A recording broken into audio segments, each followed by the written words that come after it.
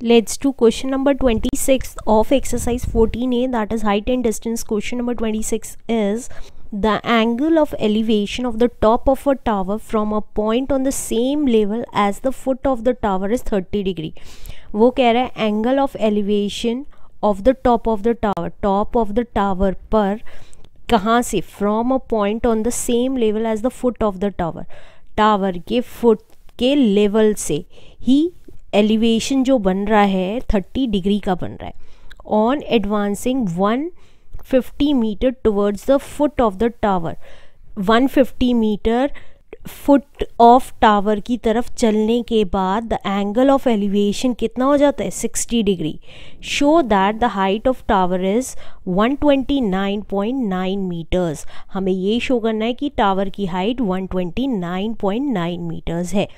अब फिगर बनाते हैं जैसे जैसे कह रहा है the angle of elevation of the top of the tower from a point on the same level as the foot of the tower is 30 degree वो कह रहा है, एक टावर है देखिए, ये टावर है और ये टावर का फुट है राइट नीचे से टावर की टॉप को देखने पे एंगल ऑफ़ एलिवेशन 30 डिग्री बन रहा है।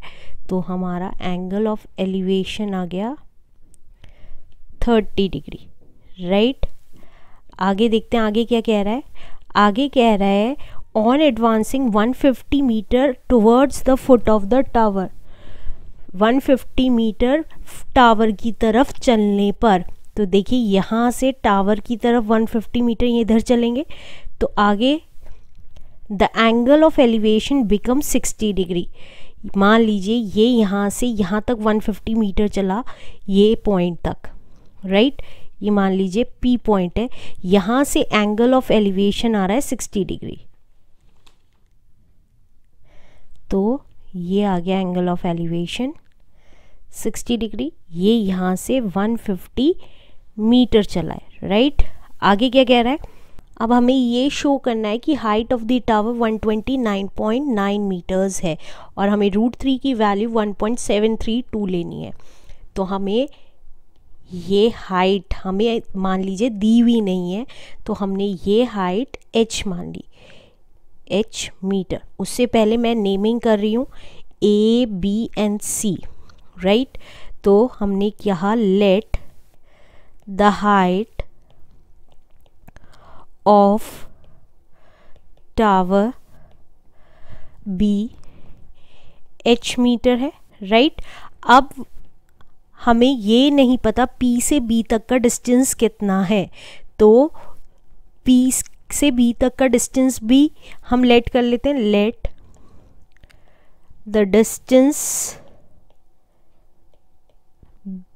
between P and B is x metre x metre मान लिया मैंने।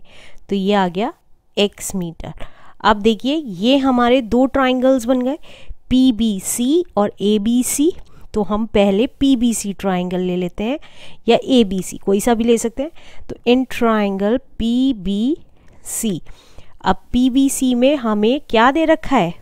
परपेंडिकुलर दे रखा है और बेस दे रखा है तो हमारा कौन सा फॉर्मूला लगेगा? That is tan sixty tan sixty degree equals to अब हमारा फॉर्मूला है perpendicular that is B C upon base है हमारा पी बी टेन सिक्सटी की वैल्यू होती है root three equals to B C हुआ एच और पी बी हुआ एक्स क्रॉस मल्टीप्लाई किया तो एच की वैल्यू आ गई हमारी रूट थ्री एक्स इसे आप फ़र्स्ट इक्वेशन मान लीजिए।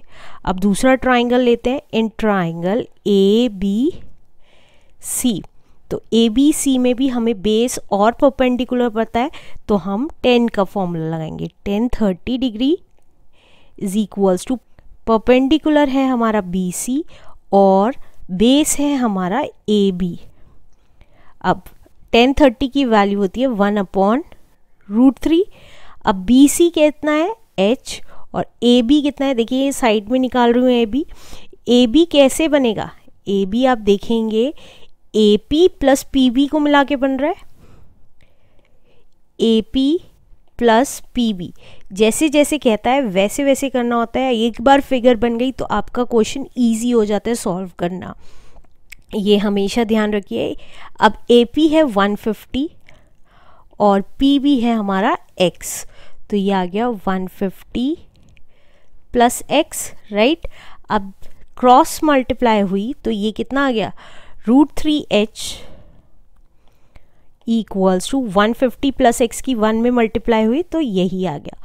ये मान लीजिए, ये आ गई सेकेंड इक्वेशन अब हम यहाँ पे h की वैल्यू इक्वेशन फ़र्स्ट में से रख सकते हैं। तो putting h equals to three X in equation two तो ये कितना आ गया? That is root three H की जगह हमने लिख दिया root three X equals to one fifty plus X तो ये कितना आ गया? Root three into root three is three तो थ्री एक्स और ये वाला एक्स इधर आ गया। तो माइनस का हो गया।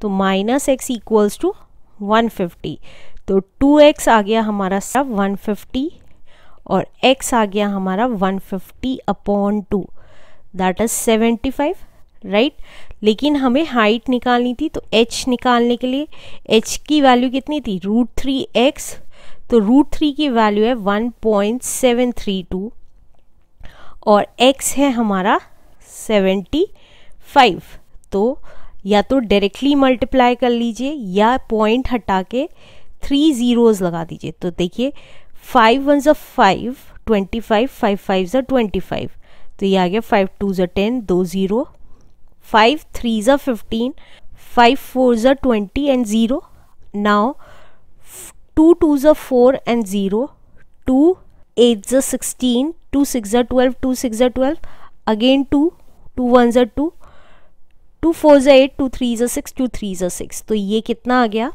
देखिए एच आ गया हमारा four thirty three into three upon ten अब देखिए three three is a nine three three is a nine three four is twelve upon ten तो ये आ गया एच हमारा one twenty nine point nine metre तो hence it shows that height of tower. Height of tower is 129.9 meter is the answer